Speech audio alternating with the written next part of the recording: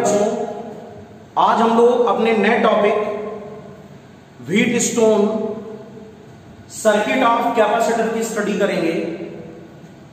Exams में कई सारी न्यूमेरिकल प्रॉब्लम्स इस प्रकार के क्वेश्चन पूछे जाते हैं, जिनमें कैपेसिटर्स को हम लोग व्हीट स्टोन ब्रिज के फॉर्म में अरेंज करते हैं और नेट कैपेसिटेंस की कैलकुलेशन करते हैं।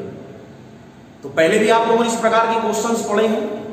प्राइमरी ये टॉपिक कहाँ का है? रेडिस्टेंसेस का R1 R2 R3 और R4 लेकिन इसी में R1 R2 R3 R4 की जगह, जब किसी न्यूमेरिकल में C1 C2 C3 C4 को व्हीट स्टोन ब्रिज के फॉर्म में अरेंज किया जाता है तो कैपेसिटेंस को कैसे निकाला जाता है?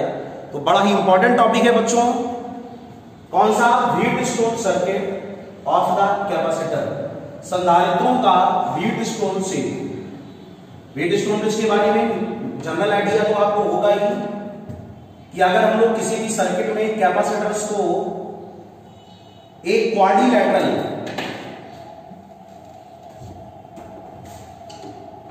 एक समांतर चतुर्भुज बोल दो पैरेलोग्राम के फॉर्म में अगर इस प्रकार अरेंज कर दें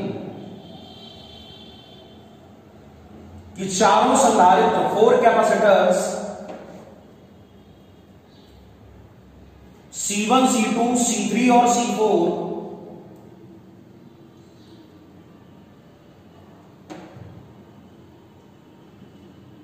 इस प्रकार आर में लगाए जाए समांतर चतुर्भुज यानी पैरेलोग्राम के। तो ऐसा अरेंजमेंट व्हीट स्टोन ब्रिज कहलाता है। यह है C5 तो कौन कौन से कैपेसिटर हो गए C1, C2, C3, C4 और C5 C5 कहाँ पर लगा हुआ है? डायगोनल एडी में। और बाकी C1, C2, C3, C4 कहाँ लगे हैं? आर्म्स में यानी भुजाओं में। तो ऐसे सर्किट को हम लोग बोलते हैं Wheatstone circuit of capacitor संधारित्रों का व्हीट स्टोन परिपथ। संधारित्रों का व्हीट स्टोन परिपथ। तो ऐसा जो व्हीट स्टोन सर्किट होगा उसमें सबसे पहली कंडीशन होती है कि अगर C1 अपॉन C2 की वैल्यू C3 अपॉन C4 की वैल्यू के बराबर हो गई C1 upon C2 is equal to C3 upon C4 तो ऐसा सर्किट कहलाता है बैलेंस सर्किट इसको हम लोग संतुलित परिपथ के नाम से जानते हैं। और अगर कोई बीट स्टोन ब्रिज बैलेंस होगा तो जो C5 है साइड साइड क्या? डायगोनल यानी विकर्ण। विकर्ण एडी में लगे संधारित्र C5 को नगण्य लिया जाता है।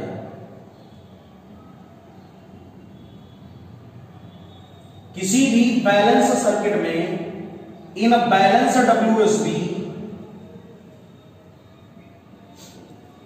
capacitor C5 is taken as negligible. सबको समझ में आ गया? बच्चों, कि अगर व्हीट स्टोन ब्रिज हमारा बैलेंस है, संतुलित है तो उसकी सबसे बड़ी पहचान क्या है? C1 upon C2 is equal to C3 upon C4 और ऐसी कंडीशन में C5 को निग्लेजिबल अर्थात नगण्य लिया जाता है। अगर C5 निग्लेजिबल होगा तो सर्किट में केवल C1, C2, C3, C4 ही होंगे और हमारा नया रीअरेंज सर्किट रीअरेंज सर्किट कुछ ऐसा होगा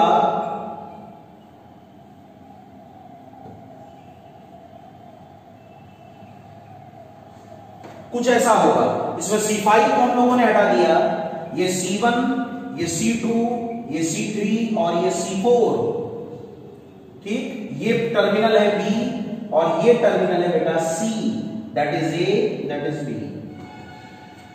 ऐसा सर्किट हो गया व्हीट स्टोन ब्रिज सर्किट सभी लोग नोट करते चले साथ साथ में C1 C2 C3 C4 में अब अगर हम लोग इस सर्किट को ध्यान से देखें, ये वाला सर्किट सभी लोगों ने बना लिया ना? तो इस सर्किट को हम लोग यहीं पर एडजस्ट कर लेते हैं। C5 को हमने हटा दिया और अब सर्किट को सॉल्व किया। तो यहाँ से जो भी चार्ज एंट्री करेगा, वो दो इक्वल पार्ट में डिवाइड होगा। तो जो चार्ज C1 में, वही C2 में, और यहाँ पर जो चार्ज C3 में, वही C4 में तो जो नेट चार्ज होगा, वो यहाँ पर जाएगा। इसका मतलब C1 C2 में चार्ज इक्वल है। इसको हम लोगों ने Q1 बोला। C3 C4 में चार्ज इक्वल है। इसको हम लोगों ने Q2 बोला। तो Q1 किसमें किसमें है? C1 और C2 में। और Q2 किसमें किसमें C3 और C4 में। और हम लोग जानते हैं जिनमें चार्जेस सेम हो, वो सीरीज़ कॉम्बिनेशन कहलाता है। तो C1 C2 किसमें होंगे? सीरीज़ में। और C3 C4 भी किसमें होंगे? सीरीज़ में। और दोनों की कैपेसिटी आपस में किसमें पैरेलल में, यानी समांतर संयोजन में होगी। नोट्स को बनाते चलिए साथ साथ ताकि आपको टॉपिक और भी सरल लगे। तो इस प्रकार बच्चों भी हम लोगों ने सीखा कि जब C1 C2 सीरीज़ में होंगे C1 comma C2 are in series, ये श्रेणी क्रम में है। तो सीरीज़ में capacity one upon C dash is equal to one upon C one plus one upon C two that is equal to C one plus C two upon C one C two तो C dash बराबर C one C two upon C one plus C two ये आ गया C dash ठीक? ये किसका capacitance है? C one और सी टू का? बड़े ध्यान से समझिएगा, बिल्कुल भी परेशान होने की ज़रूरत नहीं। चीज़ बड़ी आसान है। हमको कायदे से इस कॉन्सेप्ट को समझना है। ये सारे थॉट्स अगर आपके माइंड में क्लियर हो गए तो आपको न्यूमेरिकल टफ नहीं लगेंगे। तो ये दोनों सीरीज़ में, इसी प्रकार C three C four series में तो C three comma C four ये भी श्रेणी क्रम में है। तो इनकी कैपेसिटेंस को हम लोगों ने सी डबल डैश बोला बेटा। ये सी डैश तो ये सी डबल डैश और ये आ गया C three C four upon C three plus C four ये आ गया सी डबल डैश और ये दोनों सी डैश और सी डबल डैश आपस में कैसे हैं? समांतर means parallel so C dash and C double dash both are parallel दोनों समांतर हैं, और अगर दोनों पैरेलल होंगे resultant capacitance C dash plus C double dash तो बच्चों क्या आंसर आया? C equivalent is equal to C one C two upon C one plus C two plus C three C four upon C three plus C four बेटा, ये common formula आ गया, जिसकी help से हम लोग परिणामी धारिता या रिजल्टेंट कैपेसिटेंस को काउंट करते हैं। तो अगर कोई भी प्रॉब्लम हमारे पास स्टोन ब्रिज की है उसमें C1, C2, C3, C4 लगे हैं और ये बैलेंस फॉर्म में है। इसमें बैलेंस फॉर्म में। तो ऐसी कंडीशन में अगर हमको इक्विवेलेंट निकालना हो हमको टोटल निकालना हो तो हम लोग डायरेक्ट इस फार्मूले का यूज़ कर सकते हैं? C equivalent is equal to C one C two upon C one plus C two plus C three C four upon C three plus C four इसको बोला जाता है परिणामी धारिता यानी रिजल्टेंट कैपेसिटेंस सबको टॉपिक अच्छी तरह क्लियर हो गया बोलो। समझ में आ गया। नोट कर लीजिए फटाक से। तो बच्चों, अभी हम लोगों ने व्हीट स्टोन ब्रिज के बैलेंस सर्किट के कॉन्सेप्ट को समझा और हम लोगों ने यह देखा कि अगर हमको कहीं पर भी परिणामी धारिता निकालना हो रिजल्टेंट कैपेसिटेंस को निकालना हो तो हम लोग फार्मूले को कैसे यूज़ करते हैं? ठीक है? अब हम लोग इसकी कुछ अप्लीकेशन पे ध्यान देंगे जैसे देखो, कोई भी क्वेश्चन अगर ऐसे अरेंज किया जाए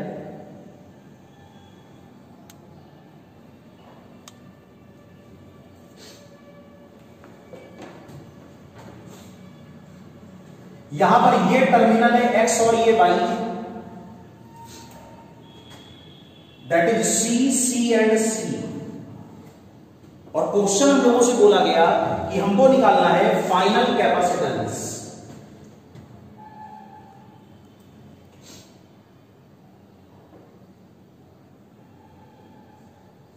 परिणामी धारिता ज्ञात करिए, बड़ा ही चलताऊ सवाल है। कई जगह ऐसे क्वेश्चन पूछ दिए जाते हैं, जिसमें हमसे कहता है फाइनल कैपेसिटेंस को कैलकुलेट करो। बड़ा आसान है हमारे लिए।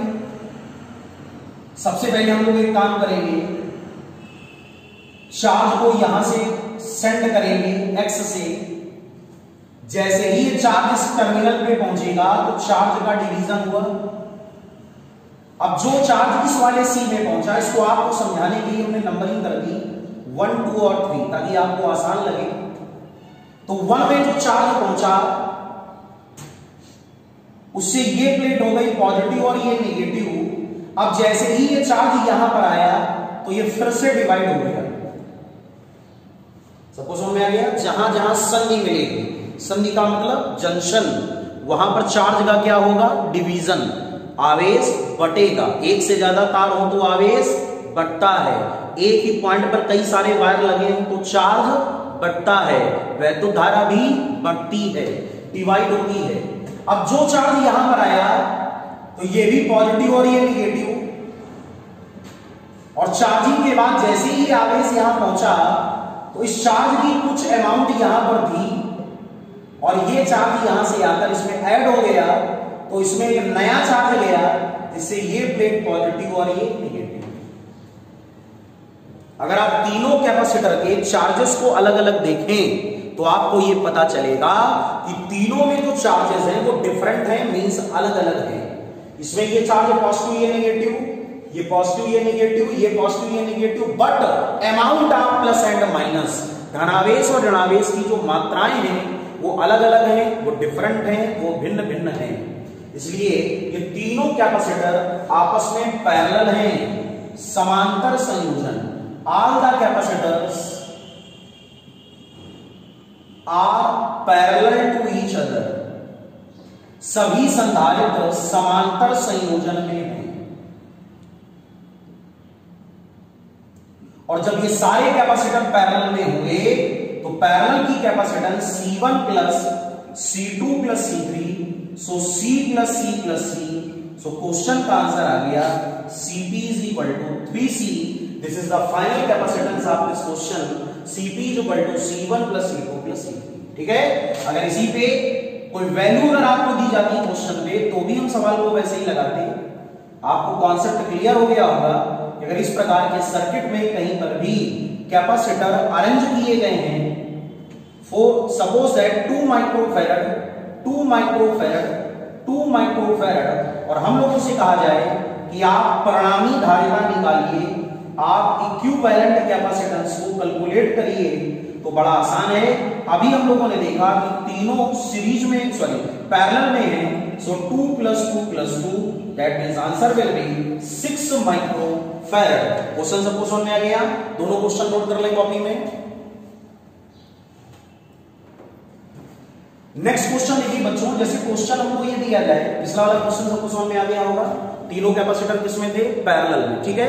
अब नंबर ऑफ़ कैपेसिटर अगर बढ़ा दिए जाए, जैसे फॉर द एग्जांपल, कोई भी सर्किट हम लोगों के पास इस प्रकार का दिया है। रियली बहुत इंपॉर्टेंट सर्किट है। ये बेसिक क्वेश्चंस हैं, जब तक ये आपको नहीं आएँगे, तब तक आप आगे वाले नेक्स्ट लेवल की प्रॉब्लम में दिक्कत महसूस करोगे। इसलिए पहले इन चीज़ों को समझना बहुत ज़रूरी है।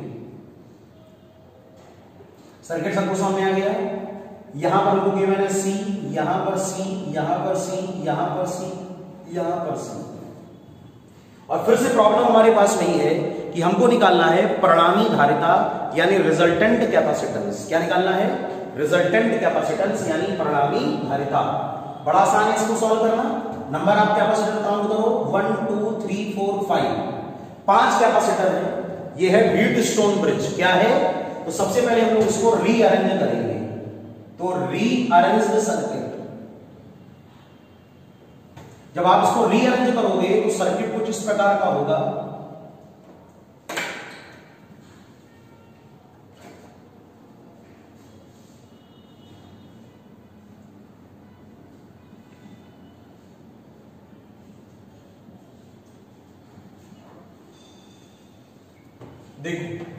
यहाँ पर ये x और ये y तो यहाँ पर ये x और ये y, यहाँ पर ये m और n तो यहाँ पर ये m और ये n अब यहाँ पर देखिए, ये है xm देखो xm कहाँ है सर्किट में? X और m तो ये है c तो यहाँ पर हम लोगों ने लिख दिया c उसके बाद देखिए my कहाँ पर है my ये m और ये y my तो दैट इज़ आल्सो c फिर उसके बाद में xn ये x और ये n तो ये भी कितना हो गया c, और फिर ये कितना ny तो ये n और ये y तो ये भी हो गया c, और ये देखो बेटा बीच में mn तो ये mn भी कितना हो गया c.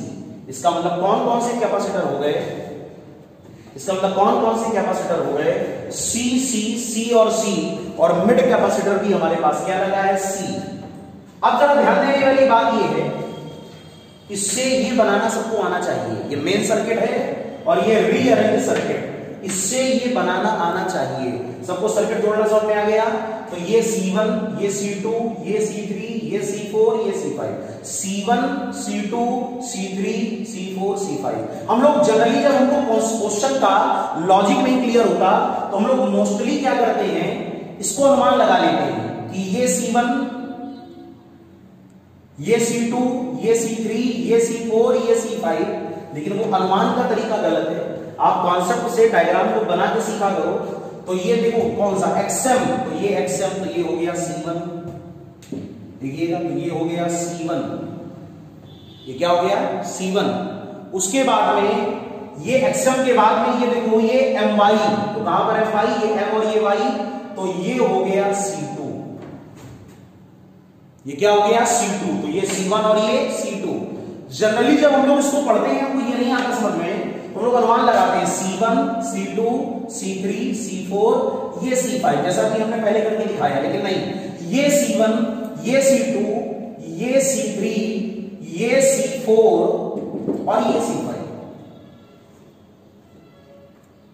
इसका मतलब ये हुआ कि जो सर्किट में हमको कैपेसिटर गिवन है उनको इस प्रकार, अगर हमको कहीं पर अंदाज़ा भी लगाना है सर्किट्स का कि कौन कौन से कैपेसिटर कौन कौन से हैं तो वैसे अनुमान लगाएँगे जैसे मैंने आपको बताया। ठीक? फ़िलहाल अनुमान ज़्यादा नहीं लगाना चाहिए क्वेश्चन को करके देखना चाहिए। तो यहाँ पर ये कैपेसिटर्स हमारे पास ऐसे अरेंज हो गए। तो ये सारे जो कैपेसिटर्स हैं, अब इनको सॉल्व करना बड़ा आसान है। अभी आप लोगों ने पढ़ा था C1 C2 C3 C4 C5 तो C1 upon C2 by WSB balance condition. Wheatstone संकुलन की शर्त से C upon C is equal to C upon C mean C one upon C two is equal to C three upon C four therefore one is equal to one इसका मतलब ये circuit balance है। और जब ये circuit balance है तो middle वाला कैपेसिटर ये वाला कैपेसिटर क्या होगा? ये वाला कैपेसिटर निगलेजिबल यानी नगण्य होगा। इसका मतलब क्या हुआ कि C और C C और C केवल यही सर्किट में हमारे पास बचेंगे और ये दोनों सीरीज़ और ये दोनों सीरीज़ और आपस में कैसे? पैरेलल तो अभी पीछे हम लोगों ने फार्मूले को समझा है। C1 is equal to C3 is equal to C4 is equal to C तो अगर इक्विवेलेंट कैपेसिटेंस हम लोग निकालें तो C1 C2 upon C1 plus C2 plus C3 C4 upon C3 plus C4 इसको जब आप सॉल्व करोगे तो C into C C square C1 plus C2 तो 2C यहाँ पर आप जाओगे तो C स्क्वायर और C3 plus C4 again 2C और C से C कैंसिल C से C cancel C by two C by two that is equal to two C by two और 2 से 2 कैंसिल तो फाइनल आंसर कितना आया C. तो इस बात को आप लर्न भी कर लें। कि अगर किसी व्हीट स्टोन सर्किट की चारों भुजाओं में लगे हुए संधारित्र बराबर धारिता के हो, सबका कैपेसिटेंस सी हो तो फाइनल आंसर भी क्या आता है? सी तो एग्ज़ाम में बिना किसी कैलकुलेशन के भी हम लोग आंसर को टिक कर सकते हैं। बस ये प्रॉपर्टी हमको लर्न होना चाहिए कि अगर चारों कैपेसिटर्स इक्वल हैं C1 is equal to C2 is equal to C3 is equal to C4 तो क्वेश्चन का सही आंसर क्या आता है? सी सबको क्वेश्चन समझ में आ गया? नोट कर ले क्वेश्चन को। तो बच्चों, अभी हम लोगों ने सीखा बीटस्टोन ब्रिज में C1 C2 से बनने वाला एक अगला सर्किट जो बहुत, वाकई मोस्ट इंपॉर्टेंट है। और उसका लॉजिक भी बड़ा क्लियर है। अभी हम लोगों ने इस बात को सीखा कि अगर किसी भी बीट स्टोन ब्रिज में C1, C2, C3, C4 सब इक्वल हो पहली बात तो कभी कंफ्यूज मत होना। C1, C2, C3, C4 पहचानने में बड़ा आसान है। और अगर ये सारे कैपेसिटर इक्वल हो बराबर बराबर धारिता के हो इक्वल कैपेसिटेंस के हो तो परिपथ की प्रणामी धारिता भी सी है। ठीक है? तो अगर सब इक्वल हो गए जैसे फॉर द एग्जांपल हम लोगों ने किसी का दूसरा क्वेश्चन ले लिया और इसमें सर्किट को हम लोगों ने ऐसे अरेंज कर दिया। तरीका आपको क्लियर है, आप क्वेश्चन लगा ले जाओगे, बड़ा आसान है, ये एम ये एन ये एक्स ये वाई और यहाँ पर ये सारे कैपेसिटर हमको गिवन है टू माइक्रोफेरेड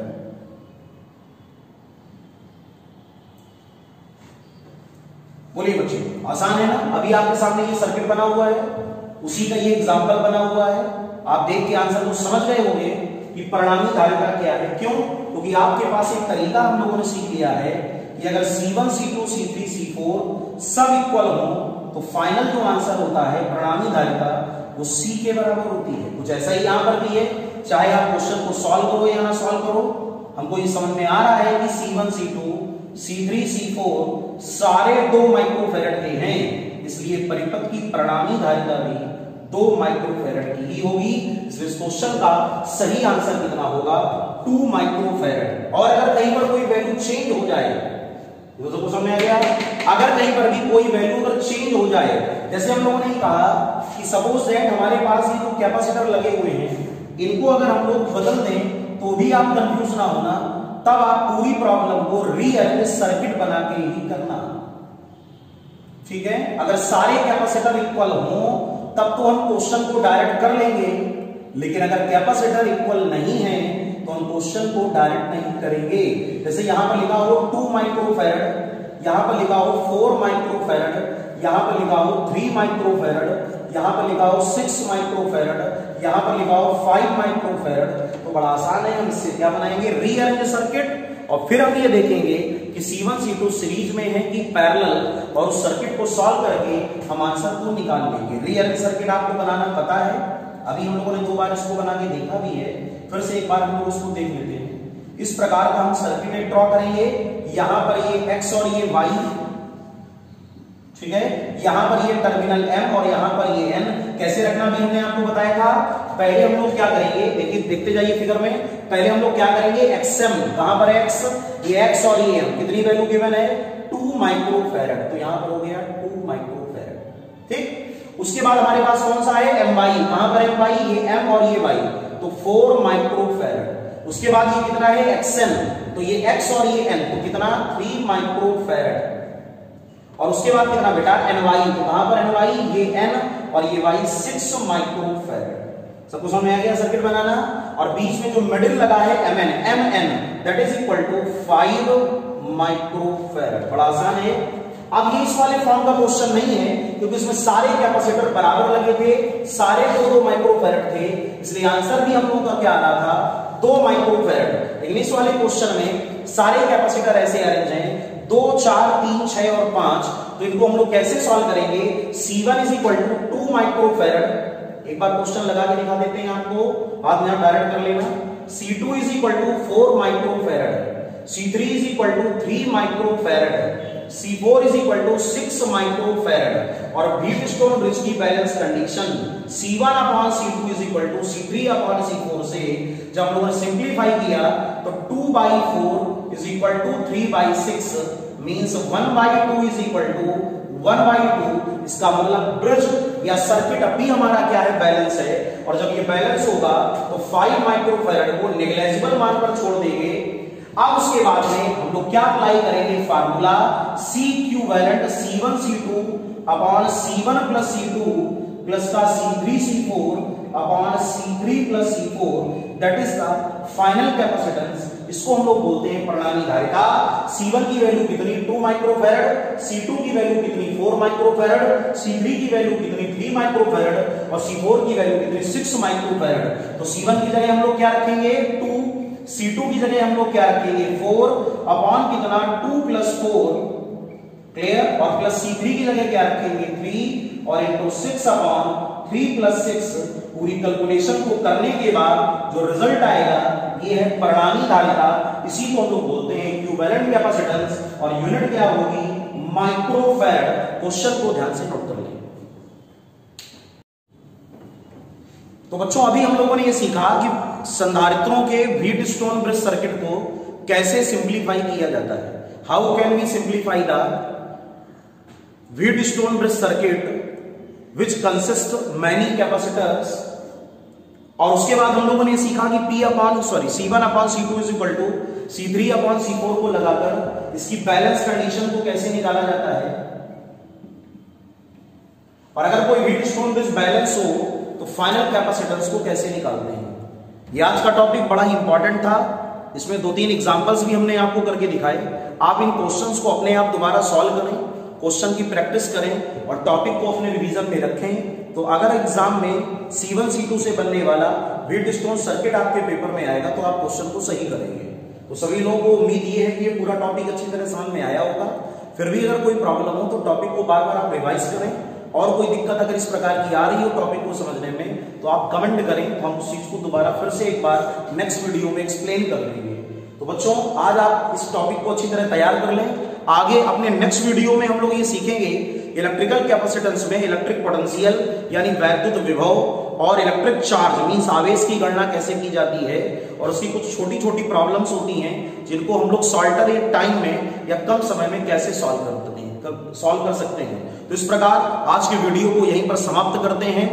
आशा है कि आपको सारी चीज़ें बहुत अच्छी तरीके समझ में आई होंगी। अगले नेक्स्ट वीडियो में नए टॉपिक के साथ आपसे फिर मुलाकात होगी। तब तक के लिए जय हिंद जय भारत।